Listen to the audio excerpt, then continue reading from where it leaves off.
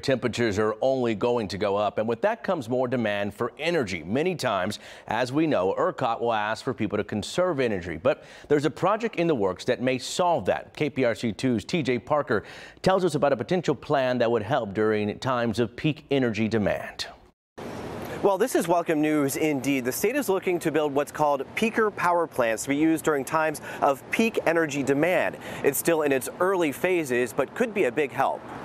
We had several people come to us and said, look, with all the campuses that Texas A&M University System has and all the property we have all over the state, why don't you offer that up? The main goal here would be to use these power plants to prevent blackouts and brownouts, as well as provide an alternate source of energy when renewable energy sources are low.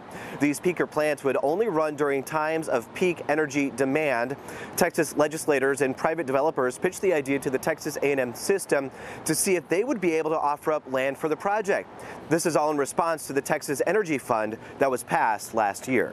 To Make sure that uh, that you're that your houses don't go dark. And it's a, not just a great service to the people of Texas by providing a lot more megawatts of power, but also to the communities that we, we have our campuses embedded in. Now, no sites have been picked, although there is talk about a potential site in San Antonio. Of course, this is a developing project and one that we will continue to follow.